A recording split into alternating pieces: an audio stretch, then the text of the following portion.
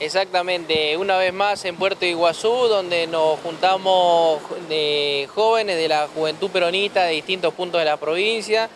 principalmente lo que es la mesa provincial de la juventud peronista para hacer un pequeño balance del año y para ya empezar a programar las actividades para los próximos meses, haciendo también un balance de las gestiones que hemos realizado, de las actividades, de la agenda, de los objetivos que hemos cumplido, que nos hemos trazado ya hace más de 6, 7, 8 meses, así que con muchísima alegría reencontrándonos una vez más con los compañeros, haciendo los lineamientos para las próximas, los meses venideros, y también haciendo lo que nos gusta, hablar de política, estamos aprovechando para formarnos, para seguir interiorizándonos sobre la problemática y la realidad de cada municipio, hablando eh, no tanto sobre el Partido Justicialista, sino un poco más elevada la discusión. Estamos hablando del movimiento peronista, de fortalecer, de cómo aglutinar, de cómo acumular, de cómo seguir formándonos y de cómo hacer para elevar la discusión para estar a la altura de las circunstancias de los tiempos actuales y de los venideros. Estuvimos recorriendo la provincia, anteriormente habíamos estado en Puerto Rico,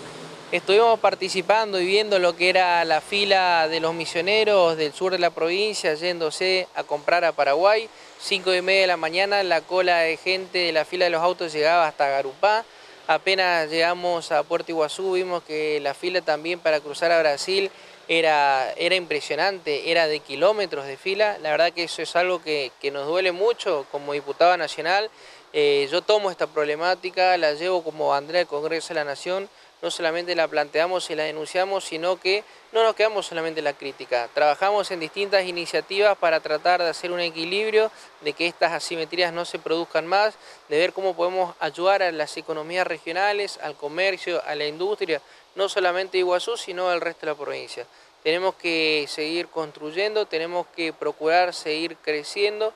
pero no solamente quedarnos en la crítica. Nosotros somos jóvenes responsables con conciencia social y trabajamos en la construcción de propuestas y de una política integradora para todos.